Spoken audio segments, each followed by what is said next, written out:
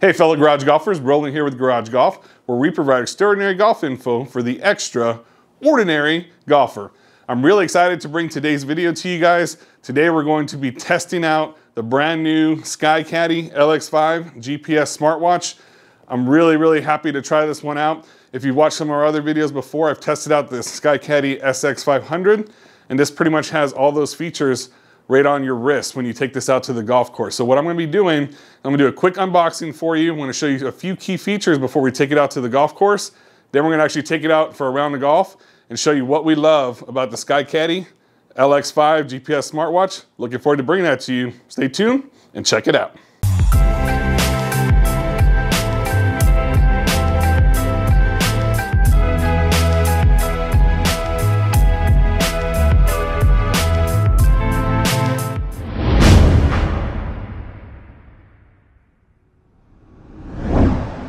Okay, thanks again for watching and welcome back.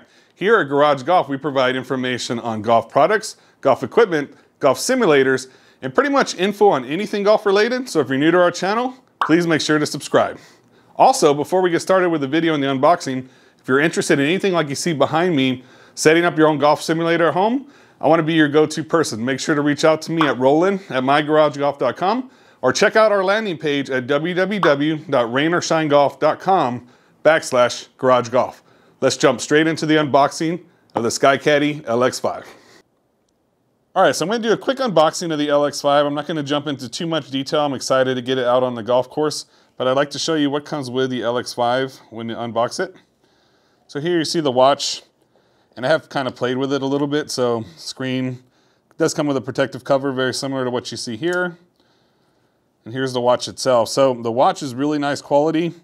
The band is actually quite large as well, which is a really nice feature. I like that. Um, it will fit big wrists, which is nice. Here's an example of the watch, the band. It is a 22 millimeter band, uh, so it will fit. It does have quick release pins that you can go ahead and release it, switch it out with bands of different colors. Um, the one you see here is the all plastic bezel. There is also a ceramic bezel that's about $50 more. Uh, but I, am happy, perfectly happy with the all plastic bezel. I think it's a really nice watch really good quality. Um, and it's definitely something that I'm looking forward to testing out and showing you guys on camera here. So um, in the box as well will come a charging cord you can see here. And this basically plugs directly into the watch. Underneath there's some pins here and it'll just plug directly into there magnetically. Um, so that's all you would really need for the watch.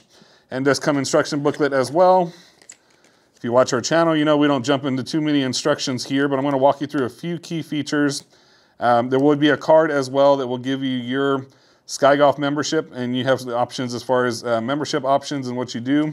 Uh, but I believe that with this particular watch comes a three-year membership to Sky Golf, and you can go online and sync your watch. I'm to walk you through a few things that you can do uh, with the watch and ways you want to set up your watch prior to taking it out on the golf course. So pretty much it. There's also another little band here. So if you have smaller wrist, uh, there's another band in here that will accommodate you as well. And basically there's also a quick start guide as you see here on the, on the bottom, but I'm gonna walk you through a few minor features I wanna show you guys at home, and then we're gonna get this thing on the golf course and show you what we love about it. So let's go ahead and show you a few of those minor things that we wanna adjust on the LX5 first, and then we'll go ahead and take it out to the golf course. All right, and to power on the watch, you hold this upper right button here, and you'll see the watch power on here shortly. This is gonna be, see what you'll see the first time that you basically set up this watch, there are two buttons here on the side. This would be your power button, and this bottom button here is going to be your menu button of sorts that will walk you through the entire menu functions. Those are the only two buttons that are actually on the watch itself. And you see there is a heart rate sensor as well, which will track your heart rate throughout around the golf. It will actually track your steps and other features as well. So you're gonna see it starting up, SkyCaddie. And once it comes up to the main screen, I'll show you a little bit more here. All right, so here's the main screen. And you're gonna see different features as far as what you wanna do. Uh, here's the normal watch face feature as well. You can click on that and see different things. You'll see your steps up here on the top, how much battery life is left, and pretty much that's it for that. You see a little arrow, you can click on that. That's gonna show you how many steps you've taken throughout the day, how many miles and what your goal is. You could also click on heart rate. It will measure your heart rate as well. Since I'm not wearing it, obviously right now, it won't measure it. All right, so now we're back on the main screen. So this menu button here is going to be pretty much your way to use this watch throughout the whole, any feature that you want to see. So if you hold down menu, you're going to see time, golf, sync, alarms, stopwatch, timer, and settings, info, and turn off. So first thing you want to do is go to settings, and you can adjust your time in settings, and basically set the time that you want to have set up here, what zone you're in, and then basically you would click next. So this is how you're going to set up your time. I've already done that in this case.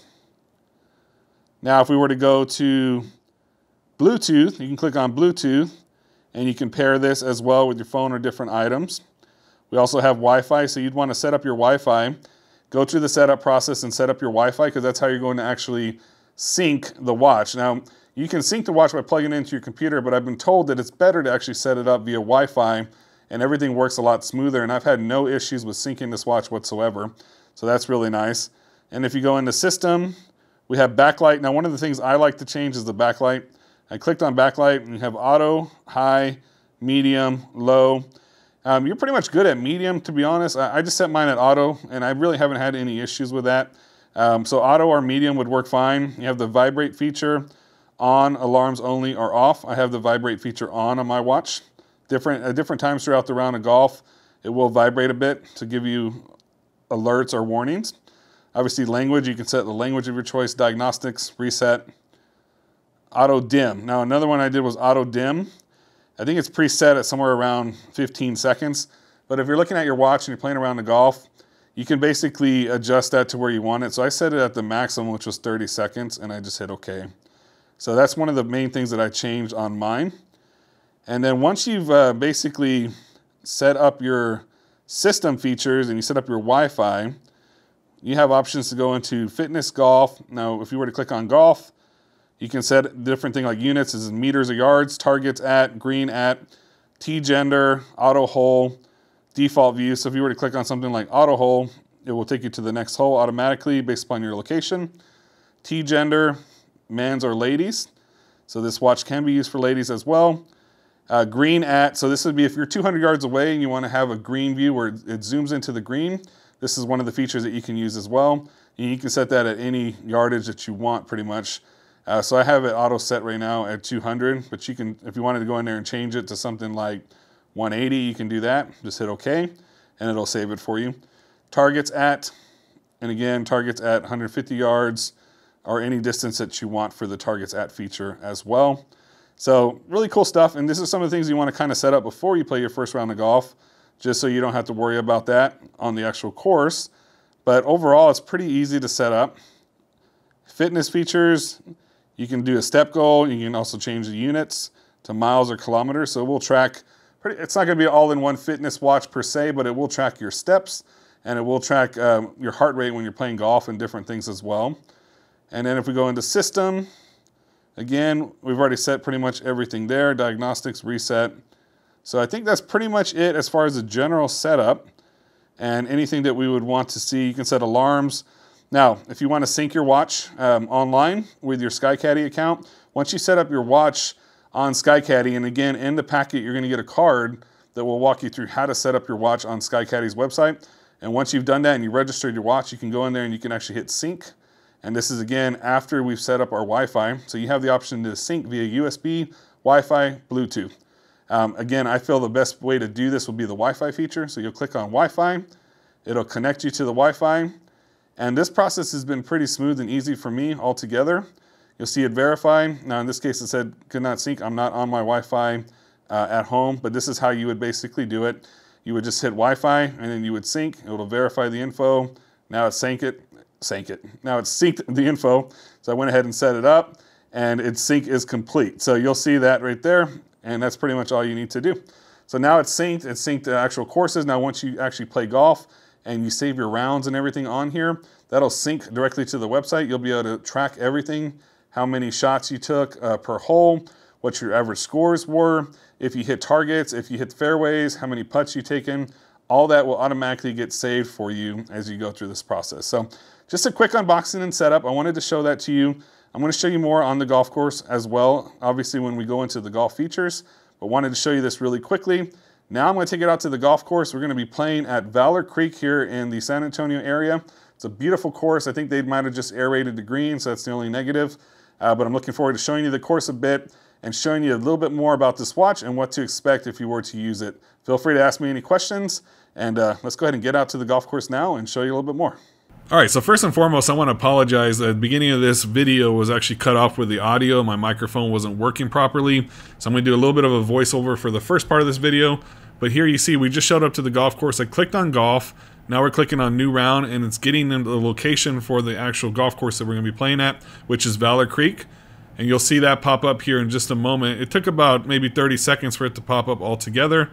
Here you see Vaaler Creek. I'm going to go ahead and select that now as my course and I'm going to click on play down here at the bottom here in just a moment and then that's going to basically locate that course it's going to load it for us get us ready for that first tee box and here I'm going to go ahead and drive us to the first tee box and show you more info here in just a moment.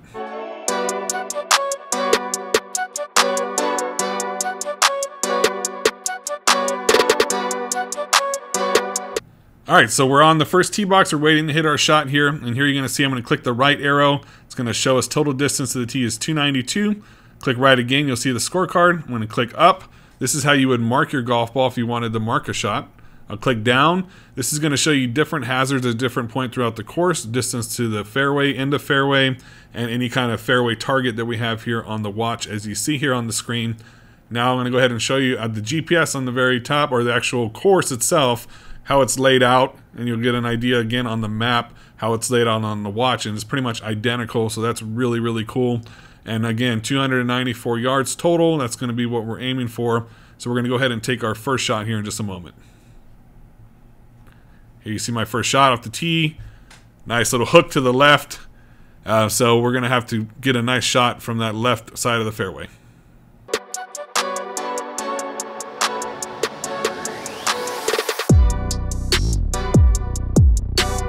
Now we've arrived to the left side of the fairway my, where my ball landed. I'm going to actually show you how you can drag the mark stick on the actual green to locate where you want to place the pin.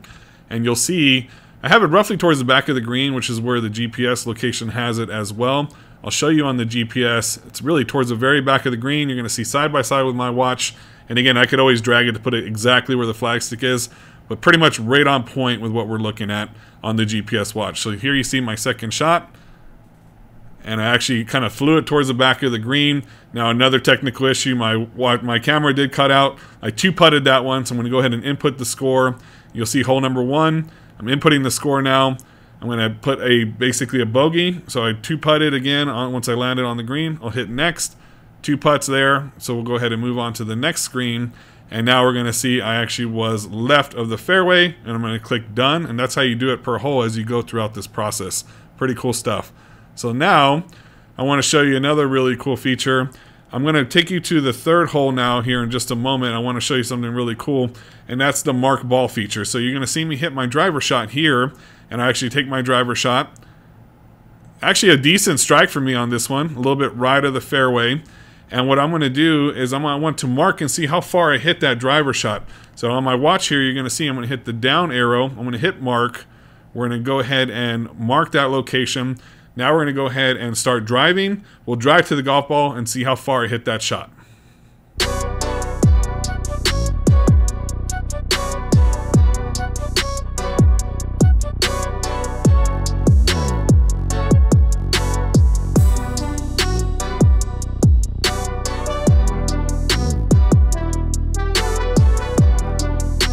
And here you see we actually show up to the bunker where my ball landed. 258 yards total was my total shot. Good distance for me off my driver. I'm going to go ahead and hit mark.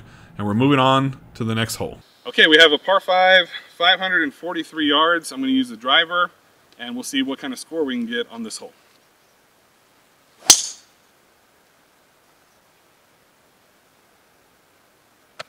I have 180 yards to the green behind me. There's a bunker right in front that's going to be right about 165 yards according to my watch. So let's go ahead and take a five iron shot and see if we can get it on the green from here.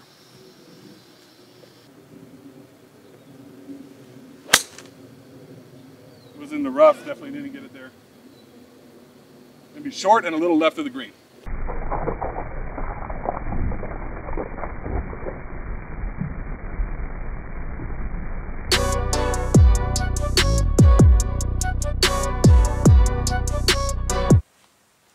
Right, so we're actually, this is a par four again. If I would just actually look at my watch, it would help.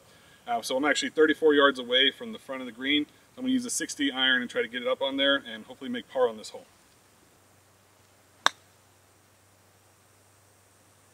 Definitely chunked it, or bladed it a bit, but we got a putt for par. I definitely hit that one too hard, so I'm gonna try to make this putt now. Really long distance, but at a very bare minimum. Hopefully I'll two putt it and get in there for bogey.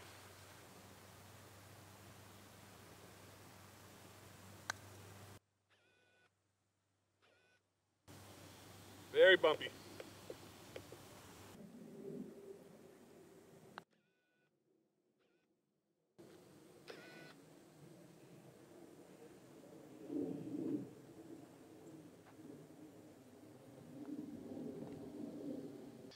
All right, let me show you one other really cool feature. Let's say you're on the tee box and we just want to zoom in on the green. You can click this little icon up here on the upper right. I'm going to click that.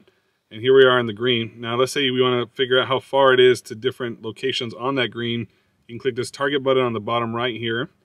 And now we're going to see distances from everywhere you're at. So if you were to drag it for an approach shot, let's say the flag's in the back left, you're going to see distances as far as how it changes based upon where you, look where you pick that location on the green and wherever that flag stick is located. So it's going to give you a really good tool as far as how to aim your shot, what club you want to use, how far you're going to have for rollout, and everything that you're looking at. So also one of my favorite features on the SkyCaddie LX. So let me know if you have any questions on this one. Seventh hole, and we have a total distance of 291 yards for this hole. And here you see, so far as I've been playing the round, you see how many steps I've taken, 1280. Nice hot day here in Texas, so I'm sweating pretty good now. So if I go back to it again, you're going to see the actual location, uh, the layout of the actual hole and how that all works.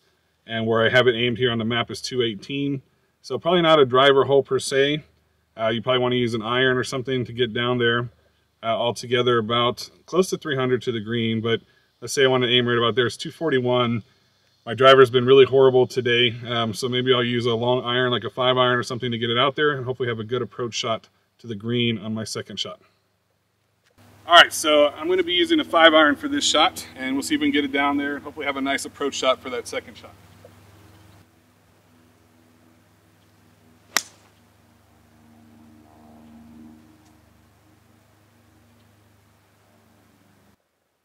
All right, so there's my ball. And there's the green up there.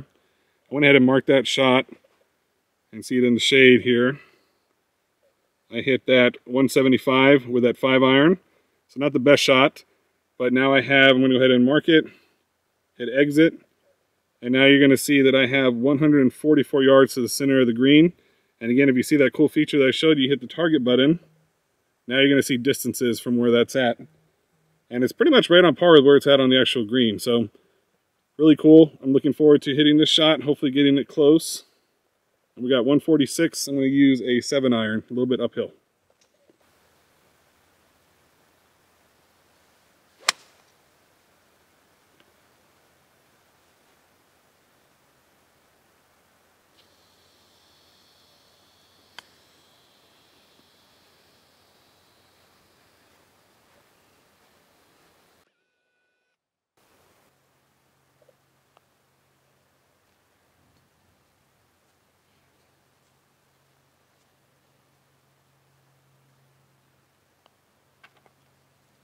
Two hundred thirty yards to the middle of the fairway up there. That's going to be my focal point. So let's go ahead and take that shot and see how we do on this. This is going to be a par four.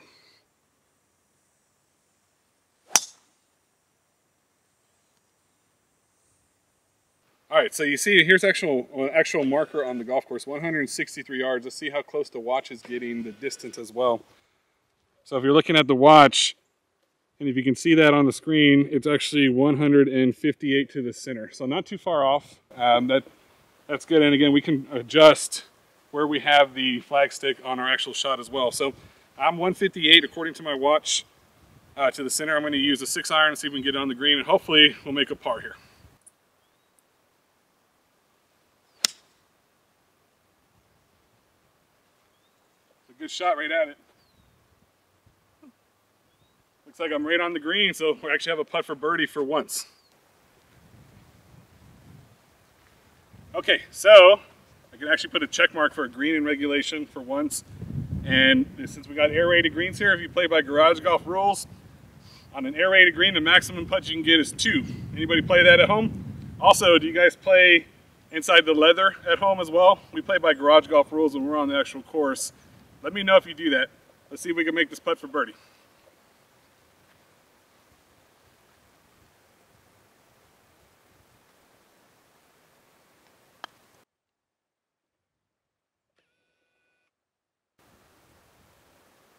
Ooh, that might be inside the leather like we just talked about. Inside the leather? Nope. Not inside the leather. Darn it. All right, let's make this putt.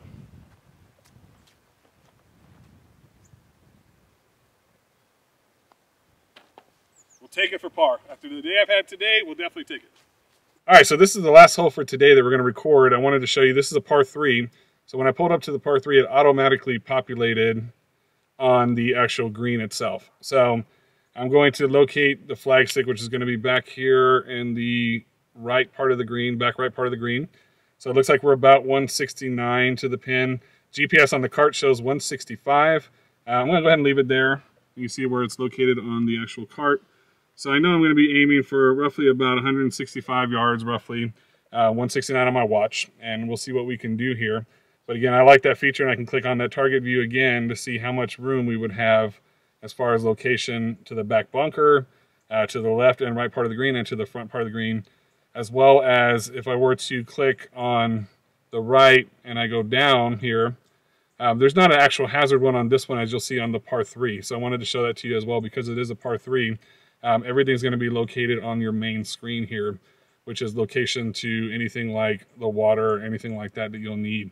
Uh, so pretty cool feature overall. And wanted to show that to you just to kind of give you an idea how it works on the par threes as well. So let's take the shot, see if we can end up with a par here for today. All right, so we got about 165 yards. I'm going to be using a six iron.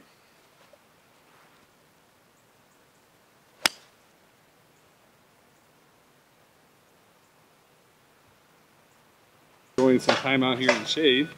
See if he's friendly or not. Oh, we got two. Oh. Hey guys. How y'all doing? Hello. Hello. Hey guys. Hi. Hi. oh, they're jealous. Hey, we just want to come say hi. Thank you for saying hello to us. Okay, so this is where we ended up here. See the hole there, pin high, just a little bit right of the green. So let's go ahead and hit a gap wedge up onto the green.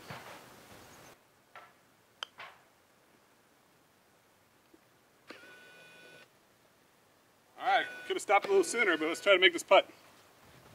All right, so we got about 10 to 12 feet away for this putt. We got these aerated greens. Let's see if we can make a putt here.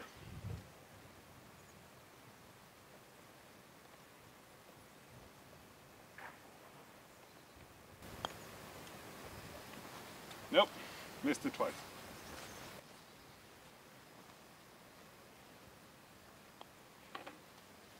All right, so we just finished up our rounds. I want to show you here, I finished out the scorecard.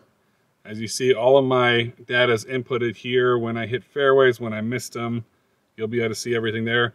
There you see my total score for today, 85, which for a tougher course isn't too, too bad. I kind of struggled today with some of my shots, but that's pretty much a everyday average golfer score right there. So I'm right on par with what I advertised to be. Uh, 85 plus 13. You see all my scores here.